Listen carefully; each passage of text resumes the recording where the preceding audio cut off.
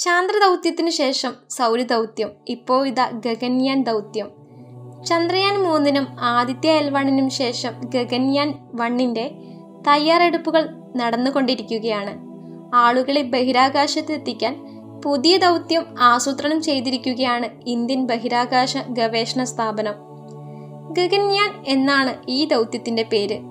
പദ്ധതിയുടെ ആദ്യപടി ഒക്ടോബർ ഇരുപത്തൊന്നിന് ആരംഭിക്കും. ശാസ്ത്ര സാങ്കേതിക മന്ത്രി ജിതേന്ദ്ര സിംഗാണ് ഇക്കാര്യം വെളിപ്പെടുത്തിയിരിക്കുന്നത്.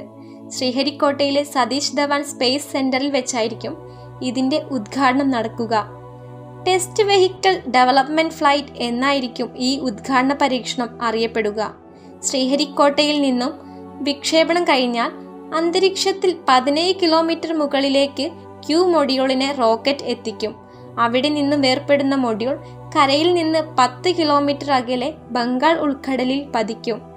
പദ്ധതിയെക്കുറിച്ചുള്ള മുഴുവൻ ആസൂത്രണങ്ങളും ഉദ്ഘാടന ചടങ്ങിൽ ഇസ്രോ വിവരിക്കും. ആദ്യ പരീക്ഷണത്തിൽ ആളില്ലാത്ത പേടകം വെച്ചാണ് ഇസ്രോ ദൗത്യം നിർവഹിക്കുക. ഇതിൽ വിജയം കരസ്ഥമാക്കിയാൽ അടുത്ത ദൗത്യത്തിൽ വ്യോമമിത്ര എന്ന റോബോട്ടിനെ ഉൾപ്പെടുത്തും. എന്താണ് വ്യോമമിത്ര? ഐ എസ് ആർ നിർമ്മിച്ചെടുത്ത പെൺ റോബോട്ടാണ് വ്യോമമിത്ര. ദൗത്യത്തിൽ ഏർപ്പെടുന്നവരെ സഹായിക്കാനും മാനസിക പിന്തുണ നൽകാനുമായിട്ടാണ് ഇസ്രോ ഈ റോബോട്ടിന് രൂപം നൽകിയിരിക്കുന്നത്.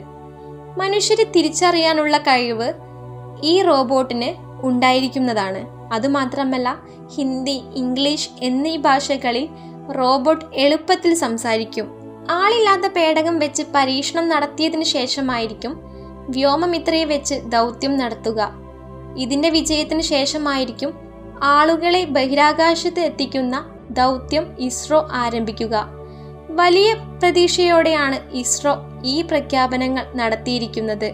ബഹിരാകാശത്തേക്ക് പോയ ഇന്ത്യക്കാരനാണ് രാകേഷ് ശർമ്മ.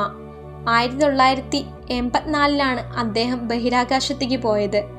ബഹിരാകാശത്ത് നിന്ന് ഇന്ത്യ എങ്ങനെ കാണപ്പെടുന്നു എന്ന് അന്നത്തെ പ്രധാനമന്ത്രിയായ ഇന്ദിരാഗാന്ധി ചോദിച്ചപ്പോൾ സാരി ജഹാംസി അച്ച ലോകത്തിലെ ഏറ്റവും സുന്ദരമായ ഒന്ന് എന്നായിരുന്നു അദ്ദേഹത്തിന്റെ മറുപടി.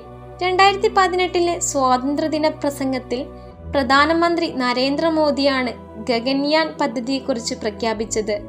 രണ്ടായിരത്തി ഇരുപത്തിരണ്ടിൽ അത് വിക്ഷേപിക്കുകയും ചെയ്യുമെന്ന് അദ്ദേഹം പറയുകയുണ്ടായി. എന്നാൽ കോവിഡ് പത്തൊമ്പത് കാരണം നീണ്ടുപോയി. ഗഗൻയാൻ പുറമെ ഒരു ശുക്രദൗത്യവും ഇസ്രോ പ്രഖ്യാപിച്ചിട്ടുണ്ട്. ശുക്രയാൻ വൺ എന്നാണ് ഈ ദൗത്യത്തിന്റെ ഇസ്രോ നൽകിയിരിക്കുന്ന പേര്. ഇതിനായുള്ള പെലോഡുകൾ ഇസ്രോ തയ്യാറാക്കിക്കൊണ്ടിരിക്കുകയാണ്. ഇസ്രോ ചെയർമാൻ എസ് സോമനാഥാണ് ഇക്കാര്യം വെളിപ്പെടുത്തിയത്.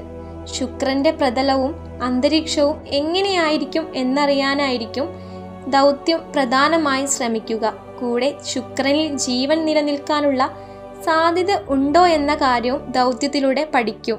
ഇവയുടെയെല്ലാം വിജയത്തിനായി നമുക്ക് കാത്തിരിക്കാം.